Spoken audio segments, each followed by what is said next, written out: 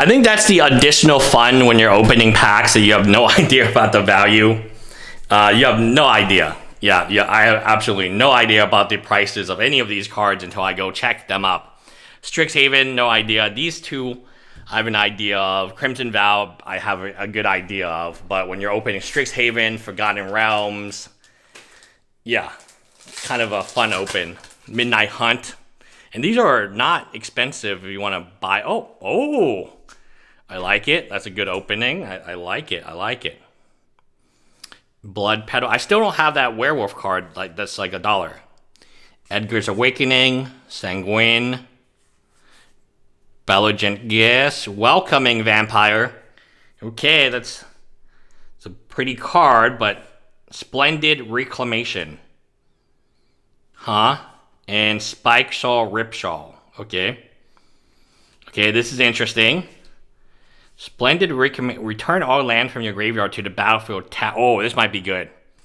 Anytime you have land cards, it could be very powerful. Whenever one or more creature power two or less enter battlefield under your control, draw a card. This ability triggers only once a turn. Okay, that's interesting. Probably not very good. But Splendid Reclamation. Hmm. Land cards are always valuable because of EDH. And that was from a set. Oh, was that from the list? Or was, or was that my rare? All right, one of my favorite new sets, Strixhaven. I honestly have opened zero Strixhaven before now. I like the fact it gives you like another random card that's full art, even though it's not very valuable. It's kind of cool.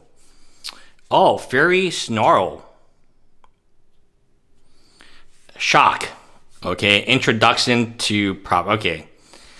Okay, all right, I'll put them here just because I'm not very hopeful. I'm going to open some Commander, fluff up my count. We have, I, I, can't say we have not. We've pulled mythics, we've pulled cards that should have value, but turned out not to have value because, again, oh, band together. Yeah, you meet in a tavern, tavern tier match. Wilson, oh, I think this is the guy you can have um, relationships with, right? Wilson? Because, ah, ah, ah, oh, oh, oh, oh, oh, almost another one. Oh my god. Look at, look at this. Like, you would think, all right, this is a really good pack, right? You got this, you got that, you got this, you got this, and I guarantee you it's all kind of like worth like 10 cents or less. Maybe the Vexing puzzle may be worth a few dollars because it's an artifact mythic. All right, Crimson Vow. That's it, man. That is it. This has been quite interesting. I probably do not want to continue to do. I, I did order boxes already, and they should come in the mystery boxes. But holy moly, we got absolutely. I'm pretty sure we got obliterated in the second half. The first half we did pretty well, but the second half, holy moly, we got obliterated.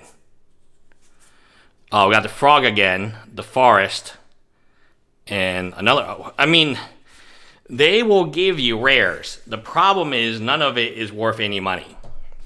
Copper Dragon. Copper. I mean, look at all the rares we got.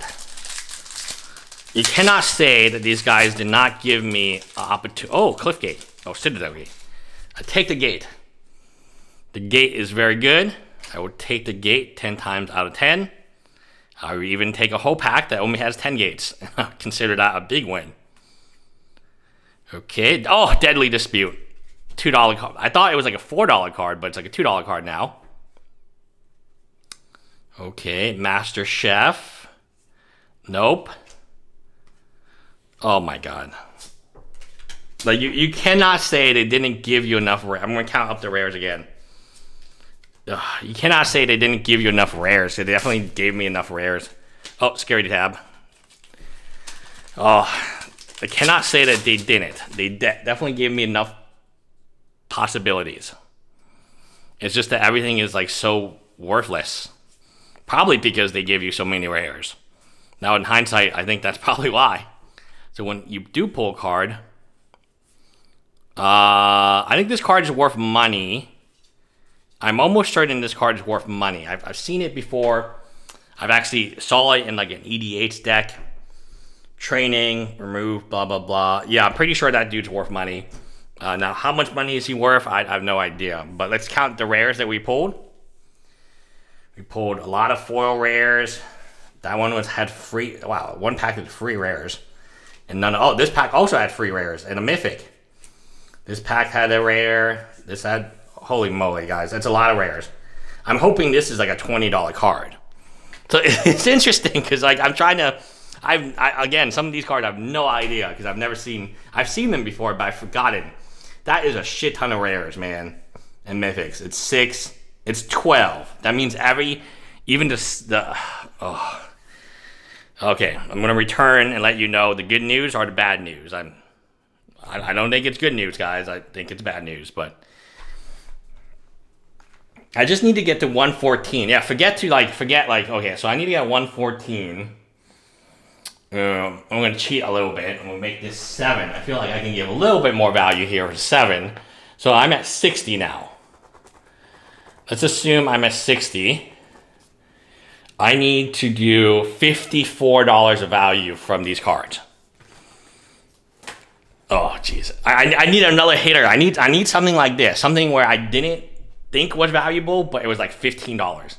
And then I think we can make it. But I need $54 of more value. We're gonna penny, we're gonna nickel and dime this shit.